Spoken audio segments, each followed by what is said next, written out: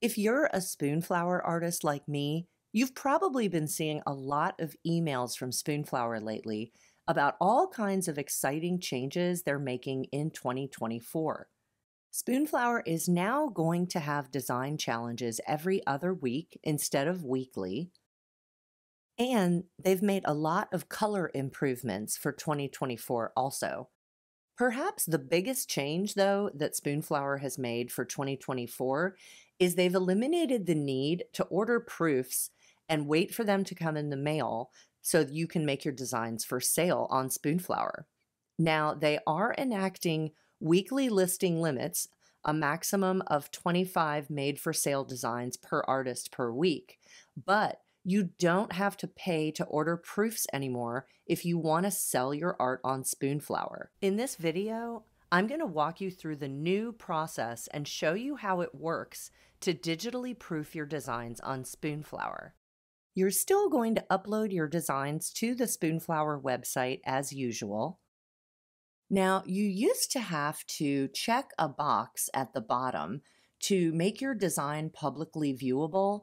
And um, prior to 2024, you had to order physical proofs in order to make your products uh, for sale on Spoonflower.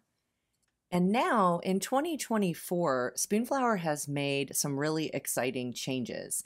So if you have physically already ordered a proof for one of your designs and you've received the proof in the mail, this section here on the bottom looks different now. So now you have the option to just activate uh, your products on fabric or wallpaper, your designs, and you get this little note here that says your design has been proofed. So uh, that's kind of nice. And then I want to show you the big new exciting change for 2024. I'm going to go to one of my designs that has never had a physical proof ordered for it um, ever. And I'm just going to the design and I'm on the design edit page. And now you're going to see at the bottom of the page here on the bottom right, it says sell.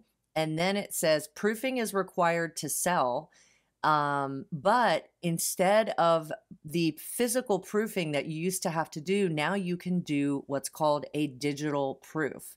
So you can actually look at your pattern on the computer and say, yes, that looks good, and make it for sale, which is so awesome. So now you don't have to spend the money and wait for the mail.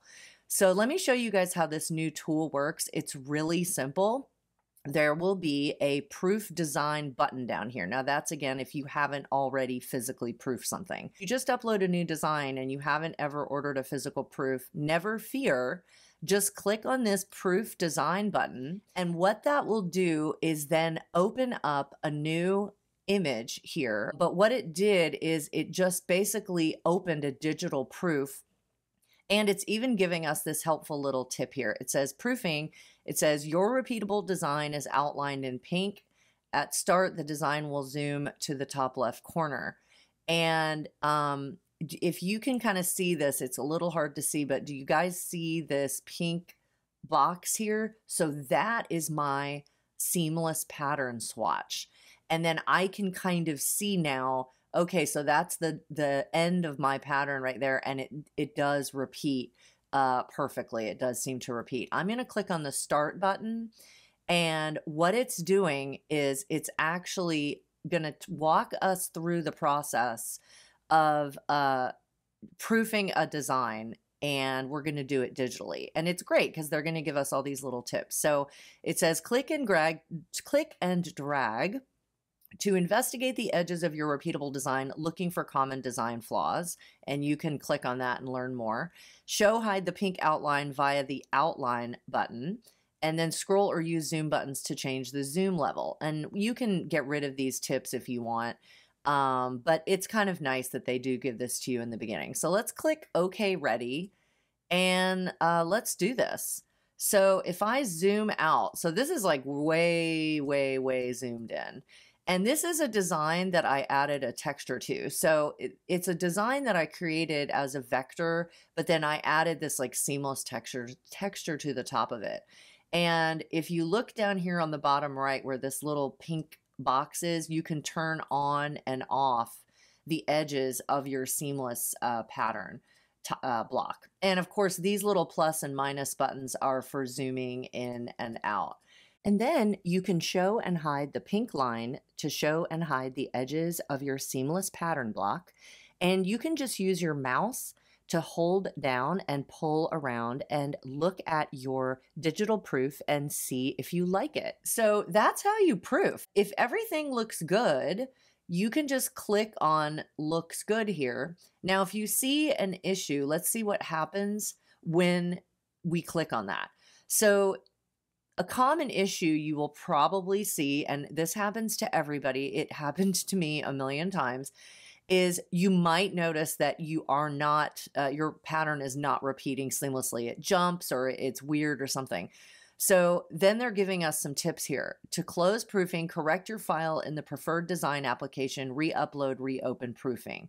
So um, anyway, I'm not going to leave and make corrections right now. I'm going to keep looking, but you can just, if you click on that box there, it'll take you out of the proofing process and then it'll let you re-upload your revision.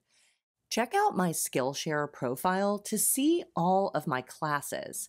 The link is in the description below. My class on quick and easy half drop repeat patterns will show you how to ensure that your patterns repeat seamlessly every time, and it will help you avoid hairlines.